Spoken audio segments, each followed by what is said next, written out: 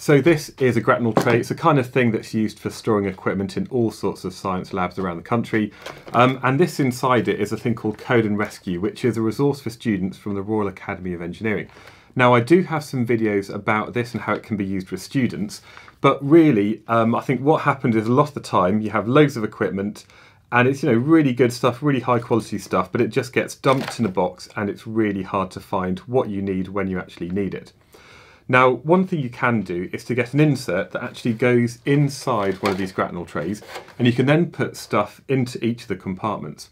Now, this is great if you've got loads of things which are the same, uh, the same kind of size, but the problem that I found sometimes is that you've got things that don't quite fit into these different compartments. Sometimes they're maybe a bit too small, sometimes they're, some of the equipment is just a bit too big. So what I've recently seen is this thing over here that uh, Gratnell sent to me, and it's basically a tray of trays that goes inside a tray. And the great thing about this is that not only can you take it out uh, and actually use it in the classroom, you can take out the individual trays as well, and um, also you can actually adjust the size. You can have different size trays depending on what you want to actually get sorted out.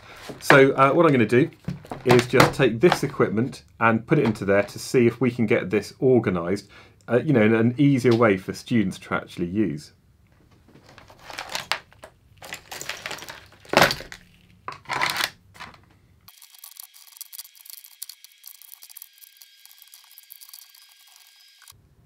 And there we go, everything is organised. So I've got all of my wires in here. I've got the various crumble controllers and the kind of uh, mini kind of uh, lights and other bits and pieces.